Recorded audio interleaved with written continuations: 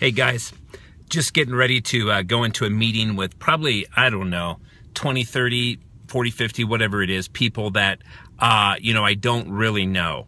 But um, what I want to share with you is something really powerful today that I've that I've read several times and that encourages me every time I'm going into something new. It says, no matter how loud, ob- obnoxious, sabotaging, destructive our internal dialogue is, isn't that so true?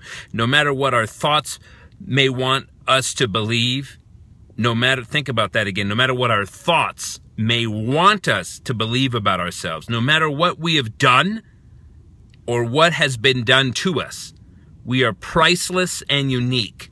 We are God's greatest miracle.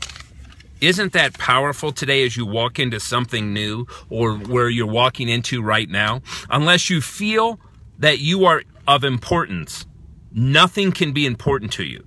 You must feel that you are important. You must take yourself seriously. If you take yourself as an accident, then just then you just might as well have not happened. If you dislike your own self, then you're lost. If you're a loss to the universe, you cannot enrich the world. You have been created to enrich the world. Guys, we're miracles. Each and every one of us is a miracle. We've all been created as a miracle. Do you know how crazy it is that you were created? How crazy it is that I'm created exactly the way God wants me to be. Today, Go be that miracle. Rest in it. Know that's who you are. That don't believe what's being said in your mind. Believe God that you have been created by him and you're a miracle.